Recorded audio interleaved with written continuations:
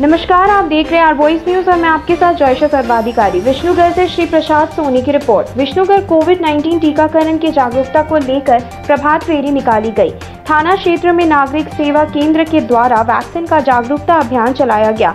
जागरूकता अभियान में मौके पर प्रखंड विकास पदाधिकारी संजय कोंगरी चिकित्सा प्रभारी डॉक्टर अरुण कुमार सिंह, विष्णुगढ़ थाना प्रभारी जगलाल मुंडा, ऋत्विक मिश्रा इत्यादि गणमान्य लोग मौजूद थे।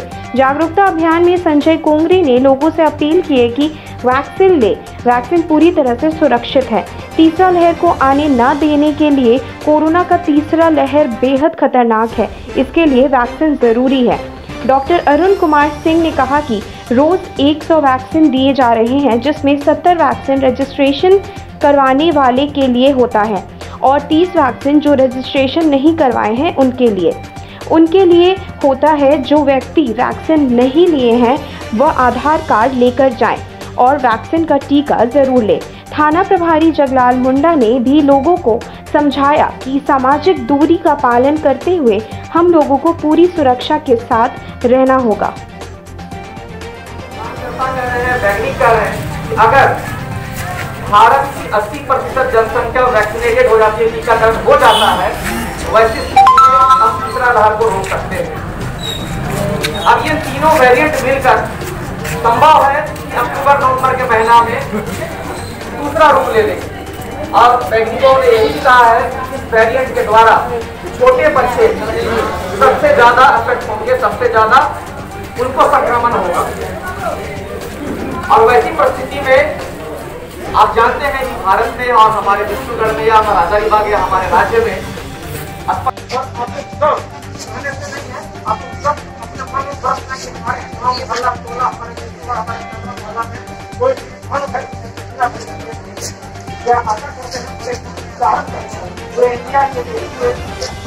स्वास्थ्य विभाग जितने हमारे भाई लोग हैं सभी लोग आए हुए हैं आपसे आग्रह करने के लिए और बार बार हम लोग सब लोग जानते हैं कि कोविड हराना है तो हर आदमी को वैक्सीन लेना होगा। दूसरा जो खेत गुजरा पहला खेत में तो मौतें इतनी नहीं हुई दूसरा फ़ेज़ जो गुजरा हम लोग देख करके सब लोग क्या दिल थम गया। जिस तरह से लोग क्या ध्यान हुआ, जिस तरह से लोग हमारे दिल से उठ के चले गए चले गए, वो वो खतरनाक किसी बात नहीं कि सब लोग जाता है कि जाता है। सबको जाना है, हम जानते हैं। लेकिन सिर्फ़ फटफटाहट के साथ क्या दो तीन दिन तक सांस लेने का सिर्फ़ दम घूमते रहा। लोग मृत्यु को आशा करते रहा कि कभी मृत्यु आ जाए और हम हमको आराम मिल जाए। बोल रहे हैं, थोड़ा ऑफ़िस में रहिए ना रैली निकला हुआ है तो चौक में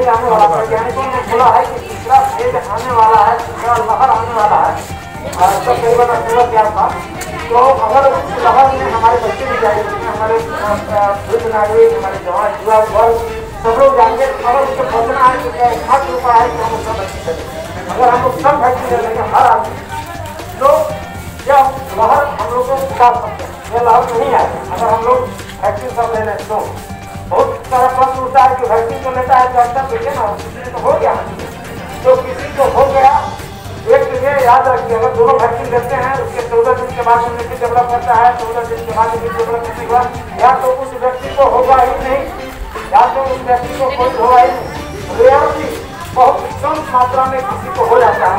तो किसी को अगर होता है तो वो हल्का सा छू करके निकलता हमारे पास आंकड़ा है। आंकड़े के अनुसार जो हम लोगों ने देखा, इस साल भरने वालों का उम्र जो था पैंतालीस चालीस से लेकर साठ साल कहने का मतलब यह है कोरोना होकर अलग अलग वेरिएंट में बदल रहा जब दूसरा लहर आया तो भारत में कहा जाने लगा यूके वेरिएंट है और ब्राज़ील वेरिएंट है। ये दोनों वेरिएंट मिलकर भारतीय वेरिएंट बनाया। और वैज्ञानिकों का ये कहना था कि उन दोनों वेरिएंट से भारतीय वेरिएंट ज़्यादा खतरनाक वैज्ञानिकों वाले ये जा रहा है नवंबर के महीने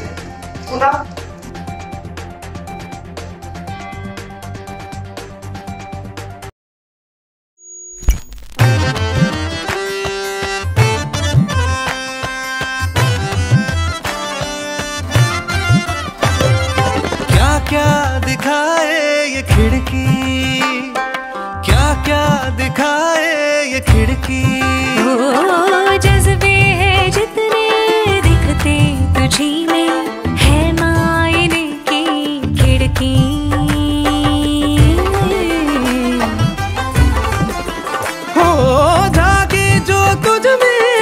देखे है खुद को है आईने सी खिड़की। क्या क्या दिखाए ये खिड़की? क्या क्या दिखा